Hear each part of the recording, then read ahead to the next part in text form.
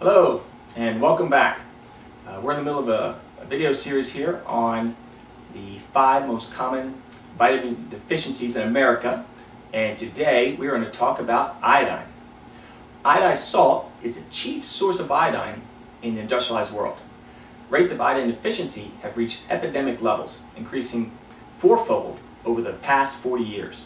Recent scientific analysis reveals that many commercial table salt brands now contain inadequate amounts of iodine. Iodine is critical to healthy thyroid function. Inadequate iodine intake causes weight gain, low energy, depression, uh, cardiovascular disease, cognitive decline, and a variety of cancers. Iodine is vital to breast health in older women, with low intake correlated to increased risk for breast cancer and fibrocystic breast disease. It's been estimated that one third of the planet is iodine deficient. A lack of iodine is linked to attention deficit disorder, uh, brain uh, function problems, uh, lowered IQ in children. Iodine plays a key role in brain development, in your immune system function, your thyroid function. Individuals who suffer from thyroid conditions are often lacking iodine because the body can't make thyroid hormone without it. Iodine is also involved in hormone health. So many women who are deficient in iodine also are low in important estrogen called estradiol, which is a protective hormone against hormone-driven cancers and the effects of toxic, toxic estrogen uh, overload. Uh, fibrocystic breast tissues are also related to iodine deficiency because iodine cell receptors are located in the breast tissue. Uh, heavy metals in the body further contribute to iodine deficiencies, and many people today are suffering the effects of heavy metal toxicities without even knowing it. Uh, heavy metals compete with iodine at the cellular level, specifically for um, iodine cell receptor. Uh, these metals block iodine from the cell receptor so the body can't use what little iodine it has in the first place. And it's flushed out of your system and not absorbed. So this can be a big problem for many people. Um, other chemicals compete on the receptors uh, for iodine are things like chloride, uh, chlorine, bromide, bromine, um, and these are very abundant in our current society. What about iodine in iodized table salt? That's one of the things I hear all the time. Are we getting enough?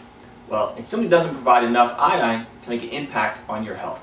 Um, just like you know, back in the old days, the minimum requirements for vitamin C could prevent scurvy, but may not be optimal. Uh, many health uh, conscious people are avoiding salt nowadays. Uh, the best dietary sources include ocean foods like seaweed and fish. And again, you know, the quality of our and the sources of our seafood is becoming compromised. So it's contaminated with polluted waters and uh, heavy metals like mercury and radioactive element cesium is also contained uh, in a lot of our seafood, uh, specifically seafood caught in the Pacific Ocean ever since the whole uh, Fukushima issue. So uh, other sources of iodine you know, include yogurt, pasteurized eggs, cow's milk, strawberries. And if you're not getting enough iodine in your diet, consider supplementation. And for some people, supplementation is the only way to restore uh, balance in the body. Uh, I take an iodine supplement sporadically, uh, but recommend getting it from non-toxic dietary sources as much as possible. Uh, iodine deficiency is rapidly emerging as a major risk factor for breast cancer. Human breast tissue and breast milk contains high concentrations of iodine, uh, even higher than the thyroid gland itself, which contains about 30% of the body's iodine stores. Uh, breast tissue is rich in the same iodine transporting proteins used by the thyroid gland to take up iodine from the blood. The evolutionary reason for this is clear. You know, iodine is essential for the development of a newborn's brain. So the mother's body must have direct means of supplying that iodine to the nursing infants. Iodine plays an important role in the health of women's breast tissue. In the presence of chemicals and enzymes found in the breast tissue, iodine has been shown to exert uh, very powerful antioxidant effects, equivalent to that of vitamin C. Iodine iodine deficient breast tissues exhibit chemical markers of elevated lipid peroxidase, which is one of the earliest factors in cancer development. Iodine also helps regulate levels of stress hormone cortisol and contributes to the normal immune system function. Abnormal cortisol levels and deficient immune function are significant contributors uh, to the risk of breast cancer. Women with fibrocystic breast disease may also suffer from elevated cortisol levels.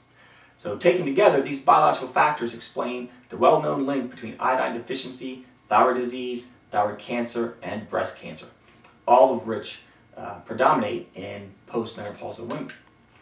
Uh, cardiovascular health. So again, restoring normal thyroid function helps reverse multiple cardiovascular risk factors, most notably uh, adverse lipid profiles. Yet, our mainstream medicine has traditionally used thyroid hormone treatments, uh, which may be dangerous if, if not uh, over, overdrives an already weakened heart.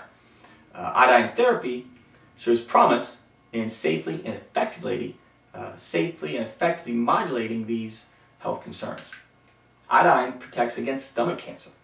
Uh, the thyroid gland, breast tissue, and portions of the digestive tract share similarities in that. All of them contain rich concentrations of iodine. The stomach lining, in particular, uh, is concentrated with iodine, capitalizing on its antioxidant effects. Uh, this has led medical research to investigate whether iodine deficiency plays a role in cancers of the digestive tract. Uh, in, a, in a couple studies, they found that people living in an iodine deficient area of the world uh, are not only prone to iodine deficiency goiters, but also have higher rates of stomach cancers. Uh, stomach cancers in patients in a landlocked area of Iran were 2.5 times as likely to have severe iodine deficiency than control patients. Gastric cancers is the most common cancer in parts of northern Turkey where iodine deficiency is common. And iodine levels in gastric cancer tissues were markedly lower than those in surrounding healthy tissues. I've also seen studies showing that um, proper iodine levels are very important for prostate health and prevention of prostate cancer.